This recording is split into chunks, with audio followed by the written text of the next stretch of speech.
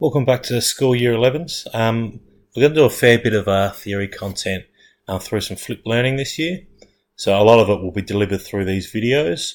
Um, the idea is it will give you a chance to be able to stop, review the um, information, have a look at the concepts, do activities along the way, but then have these tools to be able to study for any tests or exams or potentially use for assignments along the way.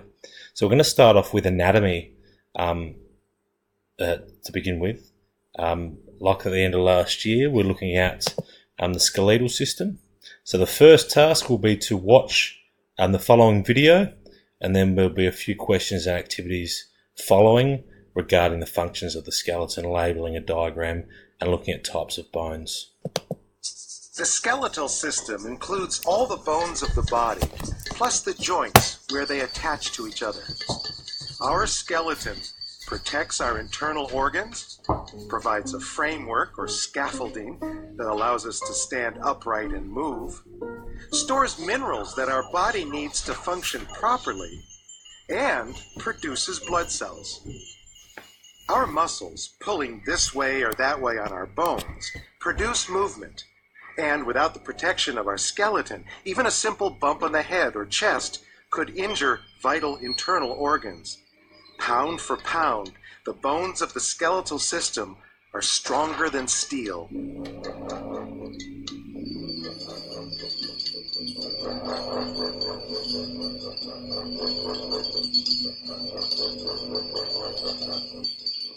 The skeletal system is made up of 206 different bones, which come in four basic shapes long bones, such as the femur, short bones, like the wrist and ankle bones, flat bones, such as those in the skull or scapula, and irregular bones, like the vertebrae.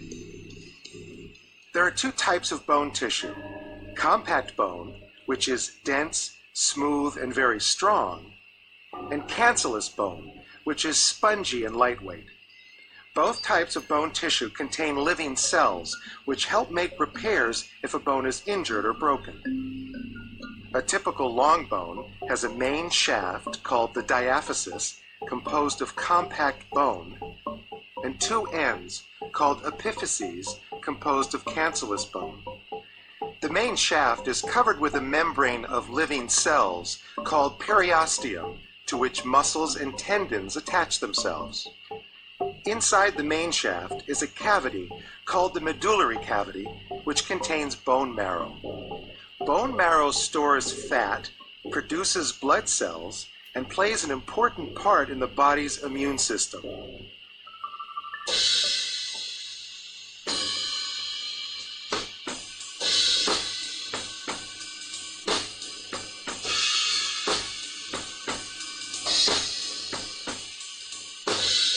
Skeletal system is divided into two divisions.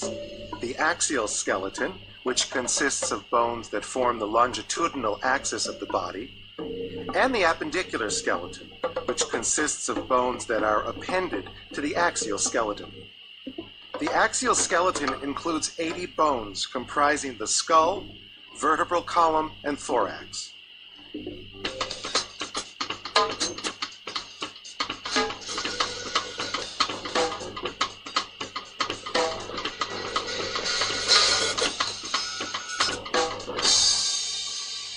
The appendicular skeleton consists of the bones of the shoulders, upper extremities, hips, and lower extremities. The bones of the upper extremities, or arms, are connected to the axial skeleton via the shoulder girdle. This consists of the scapula, or shoulder blade, and the clavicle, or collarbone. The arm itself is composed of the humerus, or upper arm, and the radius, and ulna of the forearm, plus the wrist and hand, which consist of 27 separate bones. Because of this large number of small bones, our hands are capable of more movement than any other part of our body. The bones of the lower extremities or legs are connected to the axial skeleton via the pelvic girdle. The longest, heaviest, and strongest bone in the body is the femur, commonly called the thigh bone. At one end, it is connected to the pelvis, and at the other end, to the lower leg, which is made up of the tibia or shin bone and fibula. The tibia bears all of our body's weight. The fibula bears no weight at all. The patella or kneecap is a large bone between the femur and fibula. It protects the knee joint and tendons that form the knee. The bones of the ankle and foot must carry all of our body weight as we stand, walk, or run. And the 26 bones and 33 joints that make up our ankle and foot enable it to do just that. The entire skeletal system of an average adult weighs less than 10 kilograms. If you attempted to replace this with a steel skeleton that was just as strong, it would weigh 400 kilograms and still would not have the resilience of bone or the ability to repair itself. Harder than reinforced concrete, lighter than stainless steel, able to repair itself, bone is the near perfect material to provide the framework for the human body. After watching that video, um, what you need to do is now in your books be able to answer the following five questions. So we're looking at um, one, how does a bone, how do bones protect the body? Two, what type of blood cells are produced from those bones? And what can be stored inside the bones? How does the skeleton support the body? And how do bones produce movement? So please make sure that we have um, a reasonably detailed answer for each one. After that, you will have a sheet that I would have handed out to you, um, which looks like this. And what you need to do is to be able to label on um, the diagram. Now, getting into stage one, this is the real basic understanding. So, when we get to being able to name anatomical movement and things like that, to be able to identify what bones or muscles are involved in those movement, it needs to be real second nature that, that you know these bones. So that's important you do that. If you're unsure, you can scroll back to that part of the video again, or you can look um, to other sources of research, maybe a Google search or something like that. Once you've done that, um, what I want you to do is define the following. So axial skeleton, appendicular skeleton, what's the difference between the two, and mention a couple of bones that are within each of those skeletons. Please pause while you do these.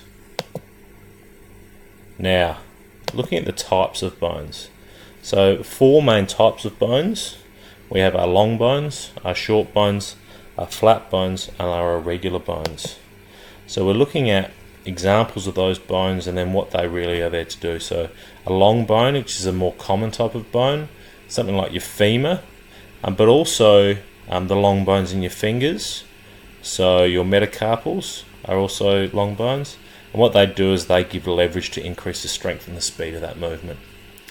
Our short bone, bones, which are the carpals, which are the smaller bones within, say, your knuckles um, or your joints, um, what they can do is they, they're also involved in protecting vital organs um, in parts of um, uh, your rib cage, but also they help provide that muscle attachment. So what they do is the short bones in your, in your fingers might help with the attachment of ligaments or tendons within those joints. Um, so a flat bone, which is uh, something like your cranium, what that does is provides protection to the central nervous system, obviously, by protecting your brain. And then an irregular bone, um, which might be something like your vertebrae, what that does is that provides shock absorption um, by spreading the force between all the bones. Okay, so again, short uh, 10 minute video, lots of information in there, a few different activities. Um, by the start of the next lesson, what you need to do, so by the end of homework, is make sure you have those key terms noted in your book um, and finish the questions and activities, and then we'll move on to um, tops of joint in our next lesson.